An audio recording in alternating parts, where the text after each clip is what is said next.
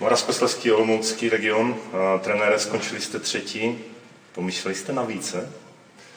Určitě jsme pomýšleli na více. Eh, svým způsobem je to pro nás určité zklamání. Eh, myslím si, že i tím, jak jsme měli ten tým složený, jsme měli navíc. Ale v rozhodující chvíli chybělo nám štěstí a asi jsme úplně neudělali všechno pro to, abychom si to zasloužili. Jak ty jako hráčka si viděla ten semifinálový souboj, ve kterém jste nakonec bohužel pro vás prohráli v prodloužení? První třetina byla určitě hodně dobrá z našeho hlediska, potom to pomalu opadalo, protože jsme si mysleli, že jeden gol asi stačí a na konci jsme prostě na chvilku vypli a padl z toho gol. No to zní jako kliše, ale dlouhodobě se potvrzuje, že buď se tady v těch kategoriích mlátí Praha versus Severní Morava, řekněme po staru. Či myslíš ty jako trenér, že to je?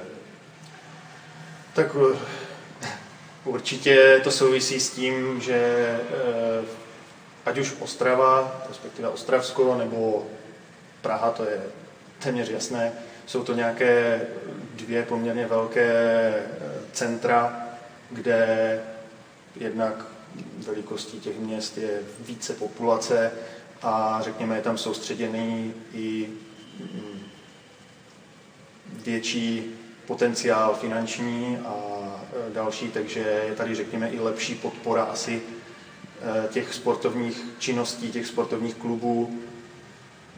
A tím pádem jsou asi lepší podmínky pro to, aby ty kluby z těchto regionů mohly nějakým způsobem, nechci říkat takové to klasické stahovat, no ale ono to tak v podstatě je, e, nebo koncentrovat ty kvalitní hráčky, talenty a kluku je to úplně totéž, eh, do těch pár, které potom jsou schopné vychovat, řekněme, takovou tu opravdu špičku.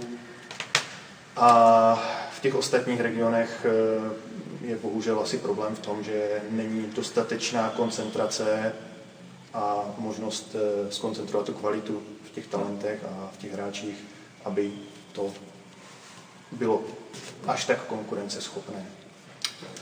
Já se díval na soupisku, dneska už to nebylo jenom FBC Ostrava, SSK Vítkovice, byli tam i velký Solnice a tak dále, tak nám zkusit popsat, jak to vypadalo v šatně a jaký byl kolektiv.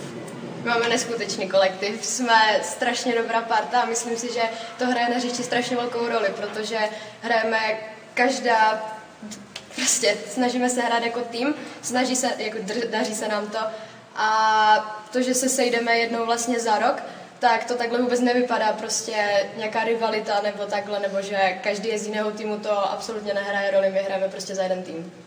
Trenér, jaké to je trénovat 17 adolescentek? Velice náročné. E, někdy je to, tak říkajíc, o nervy, ale zase na druhou stranu e, i to nějakým způsobem pramení z toho, co říkala tady Natálie, tím, že byla ta parta velice dobrá a e, myslím si, že si to hodně sedlo, tak nám to hodně ulehčilo a jako je to sranda a je to svým způsobem zážitek. Kdyby si mohla něco na trenéry v vozovkách bonznout, nebo říct nějakou zajímavost, co by to bylo? No, jsou skvělí. Nedá se jim nic vytknout, podporují nás a myslím si, že i vnímají, co se nám na hřišti líbí, nelíbí, snaží se s tím něco dělat a nevím, asi nemám nic. Dík.